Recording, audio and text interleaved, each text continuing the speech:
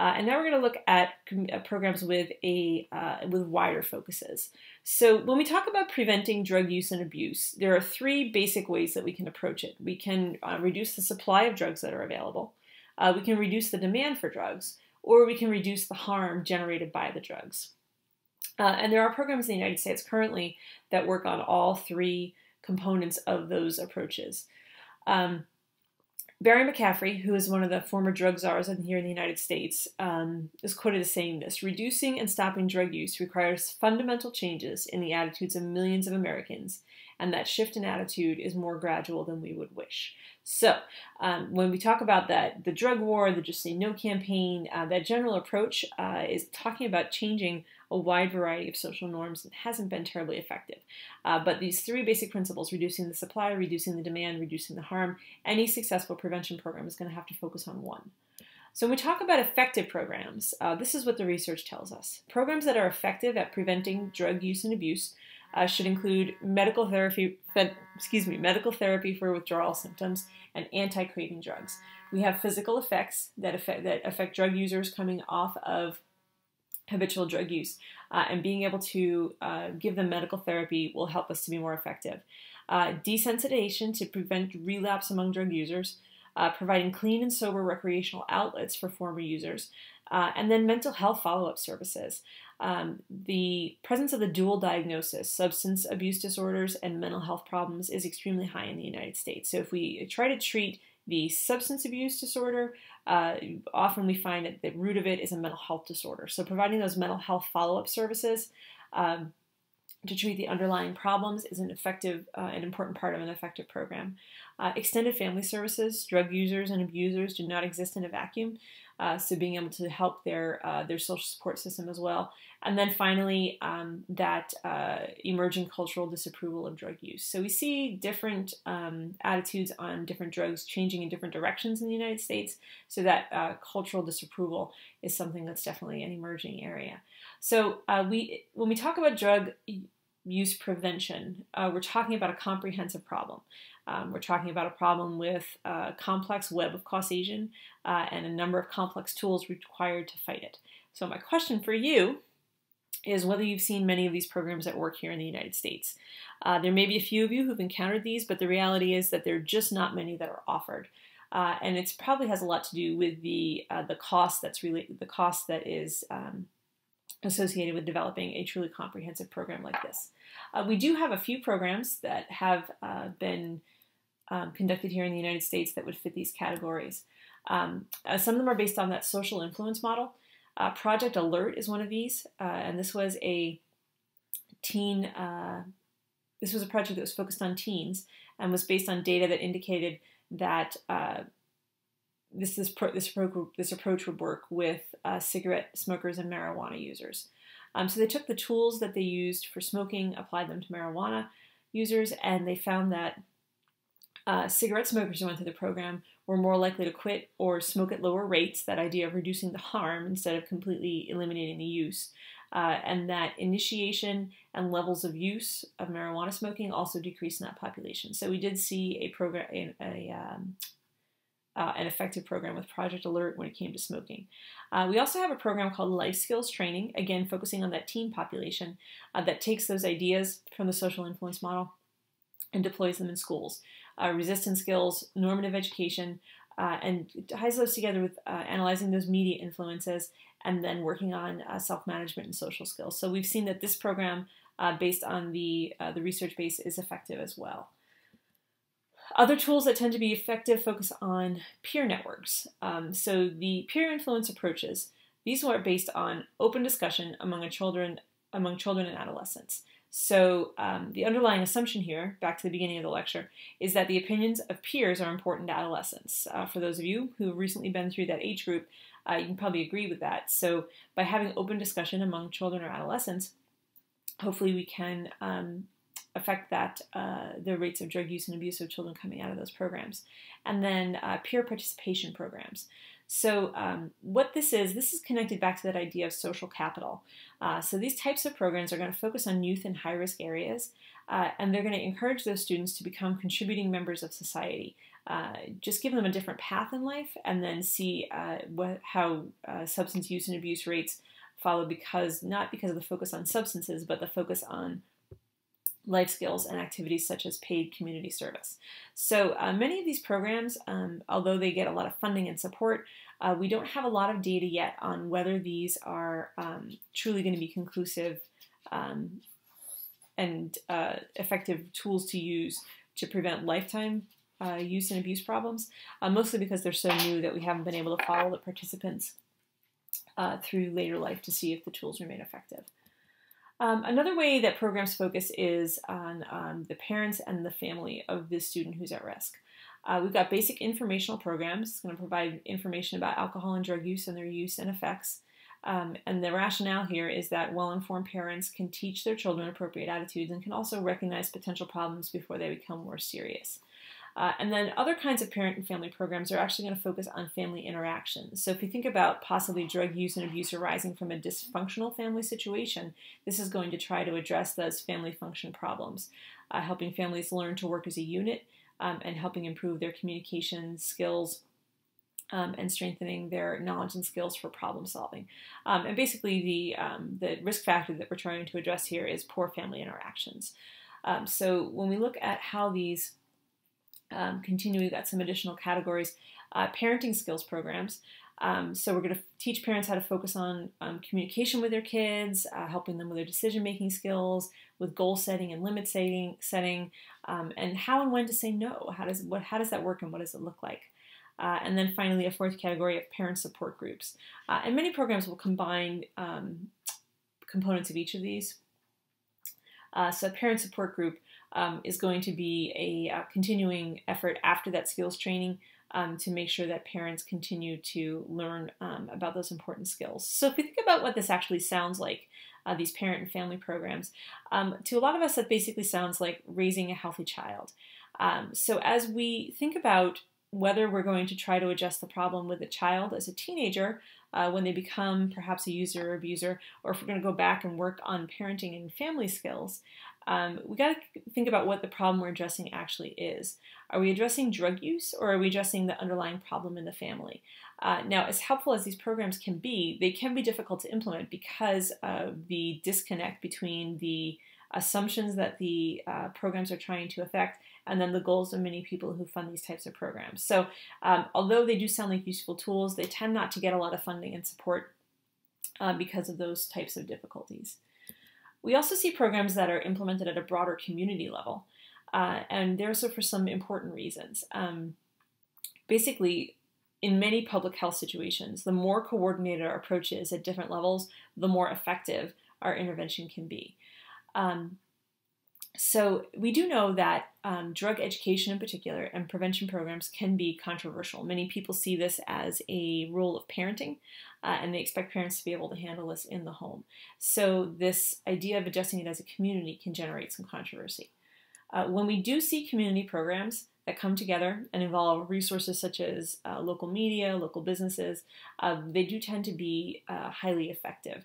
Uh, the image on this slide is one from a program that was focused in a Native American community. Uh, and they talked about the role of tobacco in sacred ceremonies.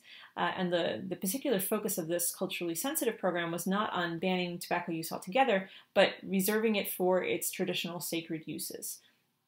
So you can take a look at that link if it's something that you'd be interested in finding out. Uh, and then we also have a program called Communities Mobilizing for Change on Alcohol. And this is actually a model prevention program that's promoted by the Substance Abuse and Mental Health Services Administration of the uh, U.S. Department of Health and Human Services. Uh, so let's take a look at a little bit about how that program works.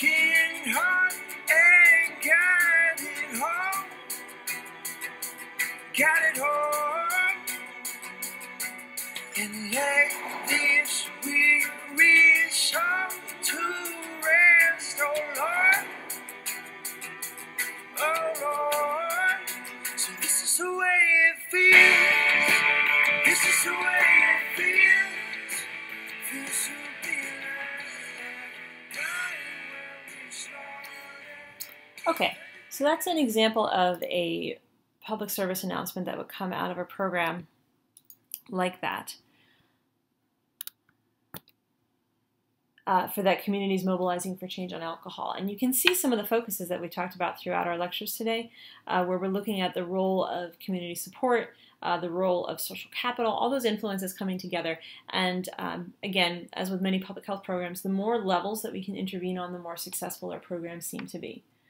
So one additional place where we can intervene uh, is the workplace. Um, and workplaces actually have a, a, vested interest in contributing to uh, drug abuse and use prevention programs um, because of the, the cost that drug um, that substance abuse disorders have for employers. Uh, so um, there's some connection here to federal funding. If a company or an organization connect, uh, receives any kind of federal funding um, from any federal agency, then they have to adopt, adopt a drug-free workplace plan. Um, now, this can mean lots of things, but the most con consistent feature for these workplace programs is random drug testing, usually through urine screening. Um, and again, we're back to that goal that we talked about early in the lectures about preventing drug use by making it clear that it's not condoned, that same idea that we used with drug-free schools. So, in terms of effective tools to uh, combat drug use and abuse, substance abuse disorders, um, it, it, varies by situation. So, what we need to do in a situation really depends on what our motivations are for doing it. So, one example would be a state requirement for drug education. Depending on our goals and motivations, um, we might be looking here at a balanced combination of factual information, not that, that totally focused approach on um, scared straight, uh, but factual information about drug use and abuse, and then the social skills training that we've seen to be effective. Uh, and just to avoid providing students with education on substances that they end up being interested in, uh, we're going to try to avoid demonstrating things that we don't want students to do.